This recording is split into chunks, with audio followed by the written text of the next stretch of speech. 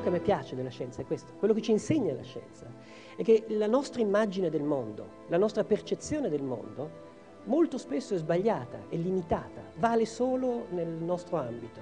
L'universo è sterminato, noi siamo, nasciamo in un angolino piccolissimo, abbiamo idee che valgono per questo angolino piccolissimo, cominciamo a guardare un pochino più in là.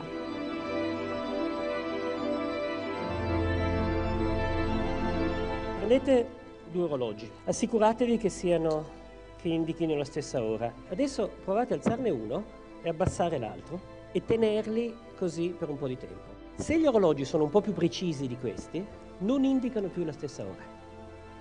L'orologio messo più in alto è più avanti, l'orologio messo più in basso è più indietro. Vuol dire che il tempo non è quello che ci immaginiamo, vuol dire che non possiamo pensare a un unico tempo che scorre uguale dappertutto. In qualche maniera dobbiamo pensare che in alto, in basso, più a destra, più a sinistra, per chi si muove più lento, per chi si muove più veloce, il tempo passa a velocità diverse. È come se dobbiamo cambiare la nostra immagine del mondo da un unico orologio che batte il tempo a tanti orologi, eh, ognuno che ha il suo. E il, il mondo è un coro di tutti questi orologi che vanno a velocità diverse.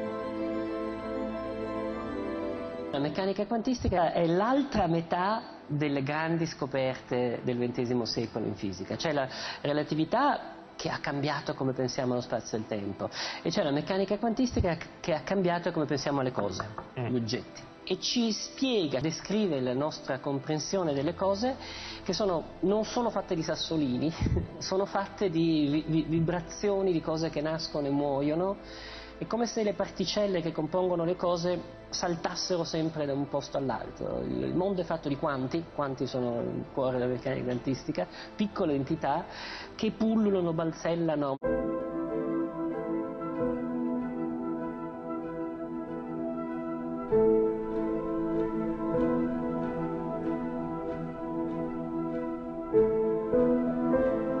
Il Veneto ha una eh, dolcezza e una intelligenza gentile nell'affrontare le cose che mi sono rimaste eh, in, quello che, in, quello che, sono, che eh, mi hanno marcato. Io mi sento veneto, mi sento americano, mi sento francese, mi sento tante cose insieme.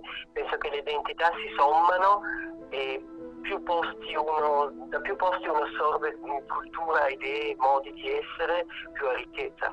Veneto mi mancano proprio le, le pietre di casa mia, del, della bellezza della città di Verona che per me è sempre un incanto. Io ogni volta che torno a Verona è una, una gioia nel cuore, un, un, un piacere rivedere eh, quelle case, quei ponti, quel cielo